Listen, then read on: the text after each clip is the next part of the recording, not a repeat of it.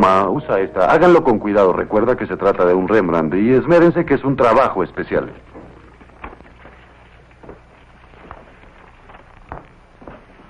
¿Y ahora qué te pasa, Mike? Asalto y homicidio en la calle Sexta hace una hora. Solicité un fotógrafo, pero me dijeron que todos están en una exposición de arte con fines benéficos. Sí, así es.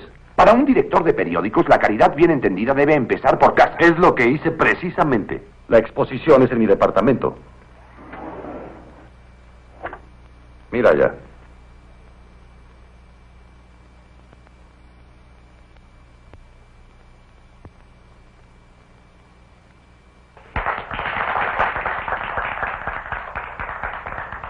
Gracias. Eh, El señor Reed me pidió que les presentara sus disculpas por no poder estar presente en esta exposición. Parece que editar un periódico libre es un trabajo, bueno, muy esclavizado. Muy gracioso. También me pidió que haga público su agradecimiento al señor Thurston Richardson, de las Galerías Richardson, sin cuya colaboración esta exposición no podría haberse hecho. Rembrandt, Degas, Picasso, Roll, nombres de artistas que dejaron un legado. Nombres de artistas que dejaron un legado de belleza a la humanidad. Cuadros provenientes de museos, galerías de arte y de colecciones particulares son... ¡Arriba las manos! ¡Todos contra la pared! ¡Vamos, a prisa! Ocúpate de esa cámara de televisión.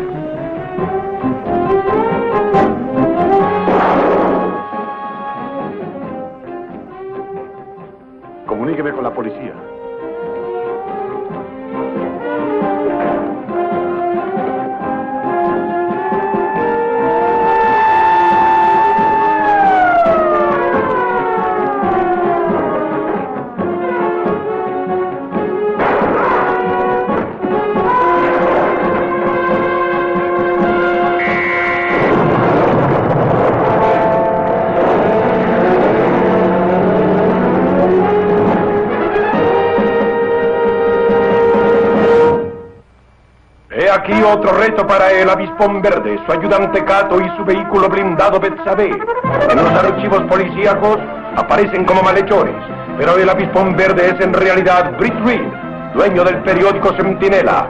Su doble identidad es conocida solo por su secretaria y por el fiscal de distrito. Ahora, para proteger los derechos y las vidas de los ciudadanos, aparece el avispón verde.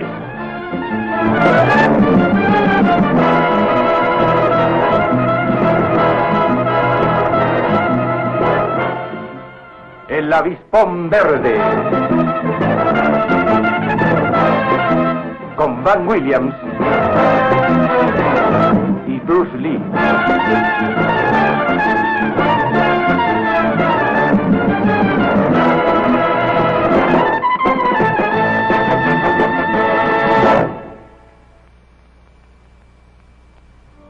El rayo mortal.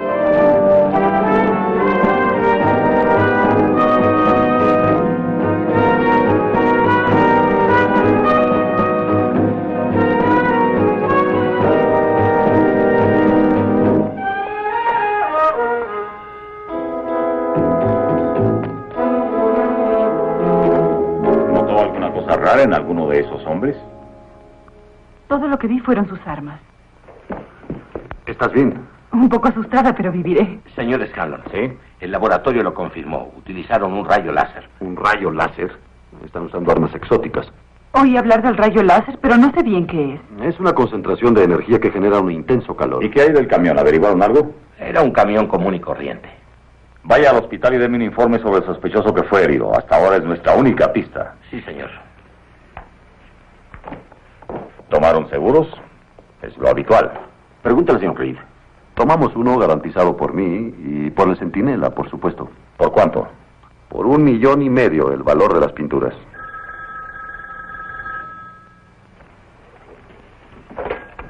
Reed, Reed. ¿Quién habla? Señor Reed, soy un buen amigo. Quiero que sepa que los cuadros están a salvo. Por ahora. ¿Por ahora? Tal vez para siempre, si está dispuesto a pagar el precio. ¿Cuál es? Un millón de dólares en efectivo. Oiga, eso es ridículo. Cálmese, le conviene pagarnos esa suma. De lo contrario, le costará un millón y medio, señor Reed. Al fin usted garantiza el seguro. Hola. Hola.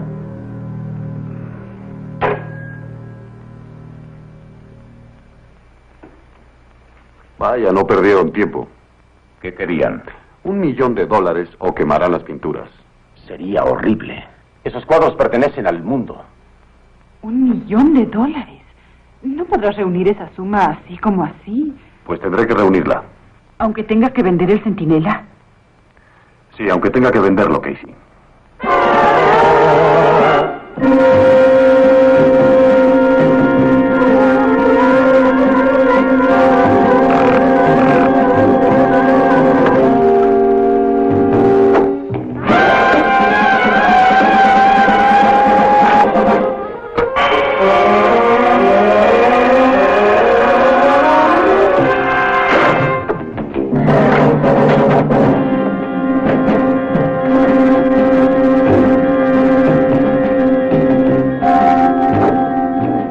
Aeroantena?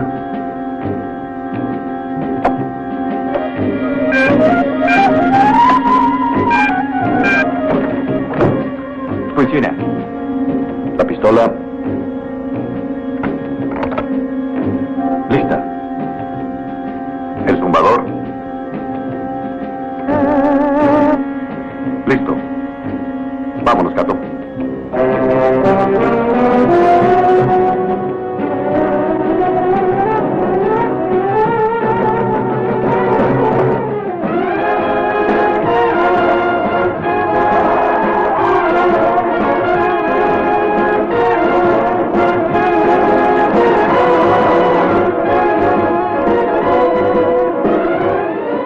¿No crees que el riesgo es muy grande? Debe haber guardias en el hospital. Sin duda, pero tendré que burlarlos. Espero que haga hablar al prisionero. Mm, No le dijo nada a la policía. Tal vez el avispón verde lo convenza de que es lo mejor que puede hacer.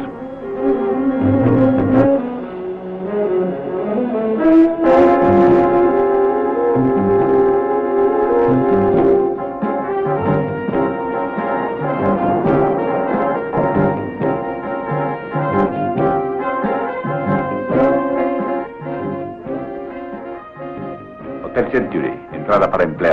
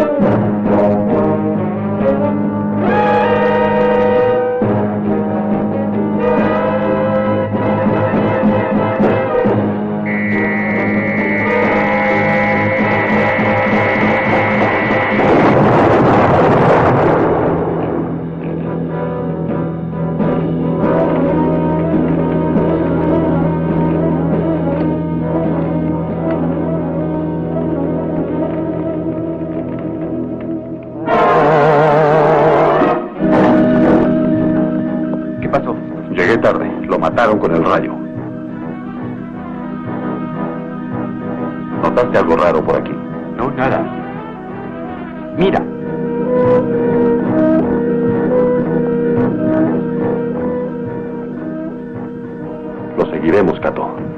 Con las luces apagadas y ojalá que no vaya al aeropuerto a tomar un avión.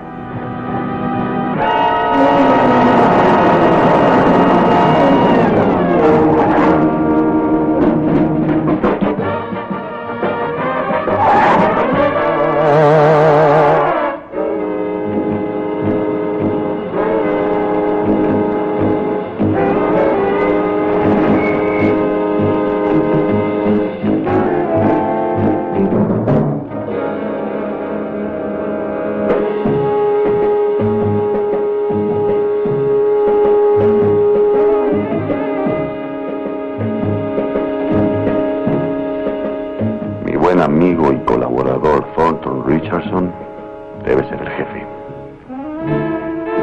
¿Cómo les fue? Muy bien, sin problemas. ¿No te siguieron? No, pude escapar inmediatamente. Será mejor asegurarnos. Vean si los ha seguido alguien.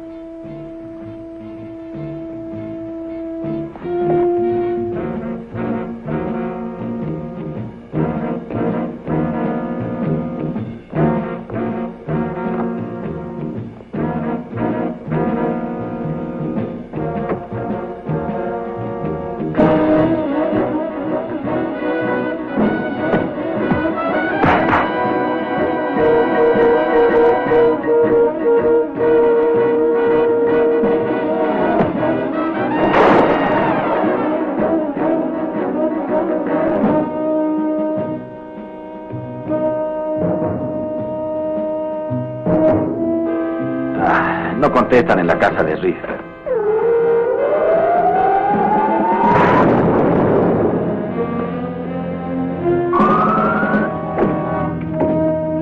Vigila la puerta.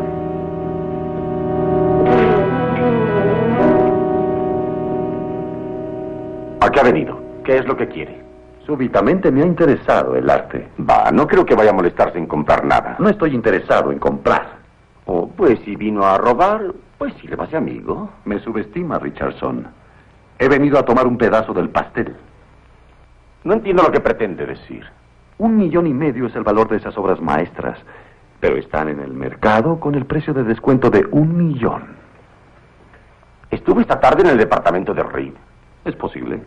¿Él le dijo que tenemos las pinturas? Exactamente, por eso estoy aquí. No creerá que somos tan tontos como para tenerlas aquí. Solo quiero mi parte del botín. Eso es ridículo. Después de tantos años de trabajo, no voy a compartirlo con cualquiera. Solo quiero la mitad. ¿Ve ese marco vacío? Dentro de poco enmarcará una pintura valuada en un millón de dólares, un cuadro de Rembrandt. Suponiendo que Reed pague. Es indudable. Lo planeé perfectamente. Paso a paso ha sido planeado. Todos menos uno. No pensó en mí. ¿Y si me rehuso? Entonces, en ese marco, habrá un retrato suyo con un crespón. Hasta pronto, socio. Y le aconsejo que me pague.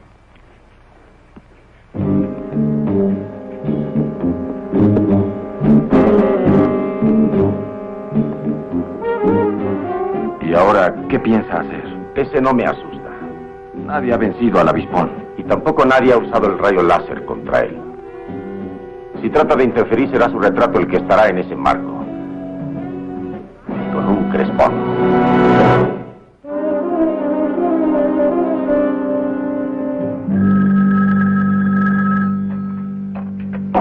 Reed, Reed. Buenas noches, señor Reed. Nuevamente su amigo. ¿Ya tiene el millón? Aún no. Lleva tiempo juntar en efectivo un millón de dólares. Y tiempo es precisamente de lo que usted carece, amigo mío. Le doy de plazo hasta mañana a las 10 de la noche. Escuche. Usted escuche, Reed. Es su último plazo. Esté en su oficina mañana por la noche con el dinero. O los cuadros serán pasto de las llamas. Y escuche. Que la señorita Case esté ahí con usted. La señorita Casey, ¿qué tiene que ver ella con esto? Ella será quien haga la entrega. Queremos asegurarnos de que usted no intentará ninguna treta. Oiga, un momento. A las 10, mañana por la noche.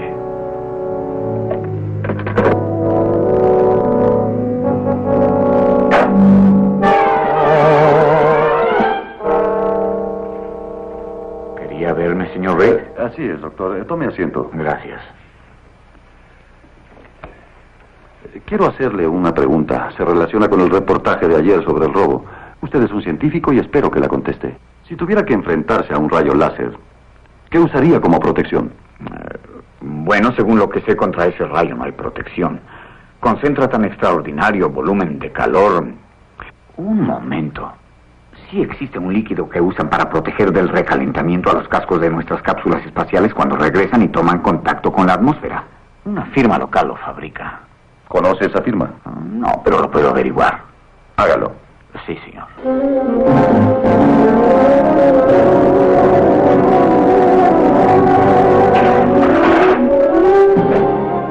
Aquí lo tienes, Brett. Me costó trabajo conseguirlo. Espero que sirva. Gracias, yo también lo espero. Espárcelo sobre Betsabé, que lo tape todo. Tiene que cubrir la carrocería por completo. Nos protegerá del rayo unos 30 segundos. ¿Será suficiente tiempo? Tendrá que serlo. Un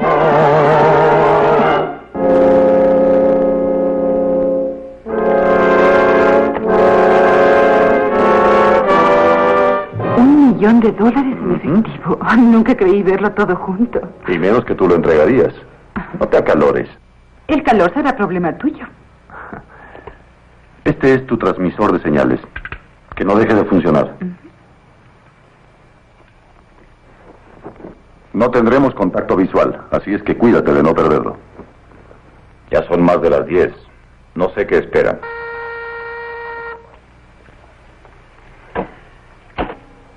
Britt Reed, Este es el plan, señor Reed. Dentro de cinco minutos, un taxi se detendrá ante el edificio del Centinela. Que la señorita Casey suba a él. El conductor ya tiene sus instrucciones. ¿no le hará nada a la señorita? No queremos que haya muertes, pero la mataremos si es necesario.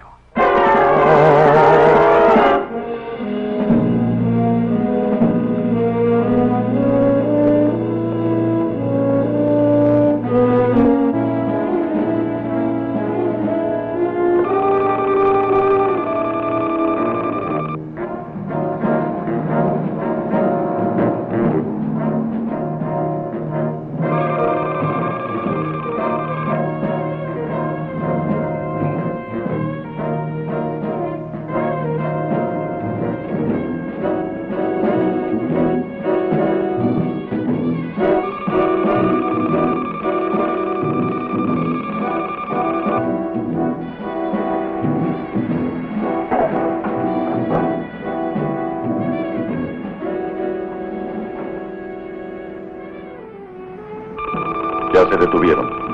Registra 8-0. Deben estar a unos 200 metros de aquí.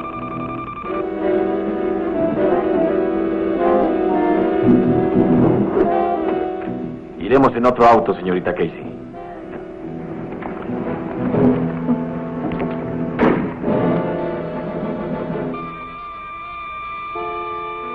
Algo le pasó al transmisor. No funciona. Disculpe, yo llevaré eso. Asegúrate de que no nos sigan. Está bien.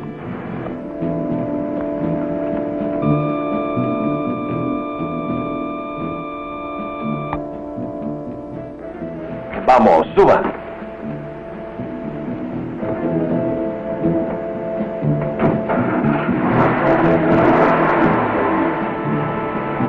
Activa la aeroantena, Cato.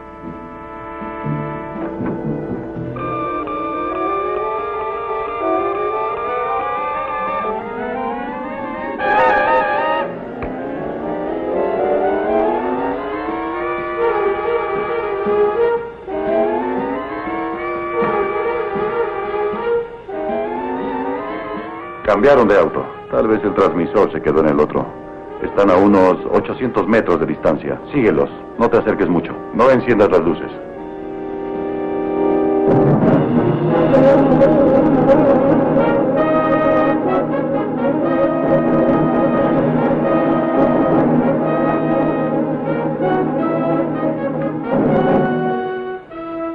El avispón está siguiendo a Steve. Repito, el avispón está siguiendo a Steve. ¿Me han escuchado? Ya oímos. Nos encargaremos de él. No quiso creerme. Preparen el rayo láser.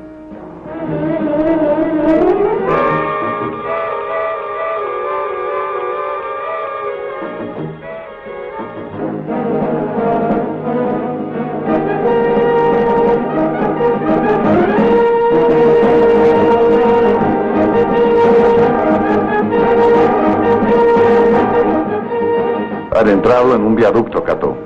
Hay un túnel que conduce a las bombas de agua. Ahí no hay mucho lugar para emplazar el rayo.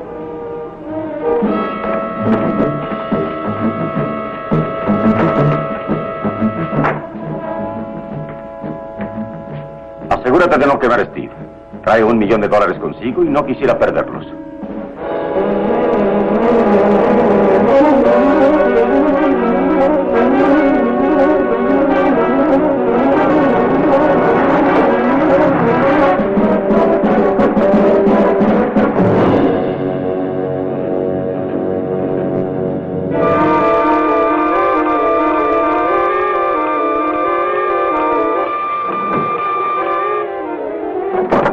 Usamos los cohetes. No, no podemos. Casey está con ellos.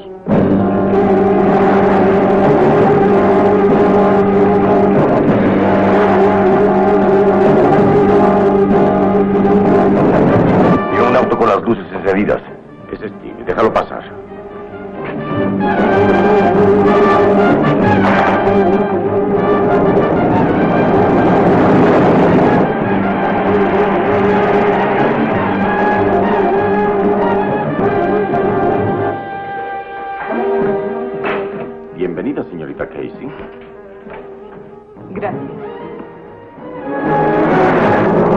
Otro auto.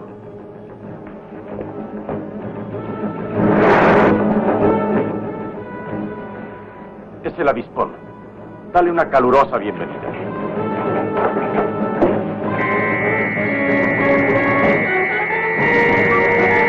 Cato, tienen el rayo emplazado. Sí, ya me di cuenta. El rayo no los detiene. Máxima potencia.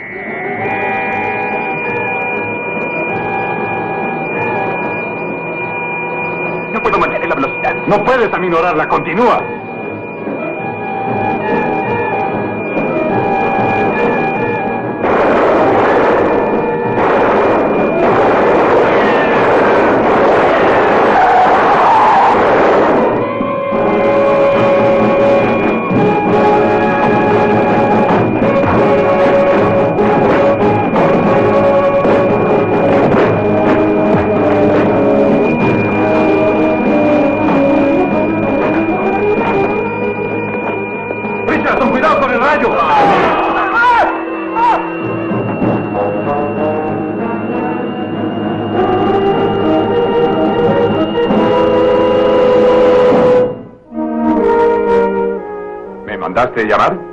¿Dónde estabas metido, Mike? Nunca empleas dos horas para almorzar. El doctor Bendix nos llevó a un grupo a festejar su aumento. ¿Mm? ¡Qué gentileza! A propósito, Britt, ¿cómo puede ser que a uno que solo escribe cosas científicas le des un aumento y a mí que soy el reportero estrella y he hecho aumentar la circulación me pagues de sueldo unos míseros centavos? Explícame. Pues porque su departamento le hace a la comunidad y al editor de este periódico un gran servicio. Esa es la explicación. Bah, Eh, Mike, cuéntame el homicidio del que te ocupaste esta mañana. fue un asalto hermoso. Dos hombres enmascarados entraron al supermercado, pistola en mano, y cuando el patrullero vio lo que estaba pasando, bajó del auto, entró decididamente al supermercado, sacó la pistola, se enfrentó a esos dos enmascarados, pero olvidó que su arma estaba descargada.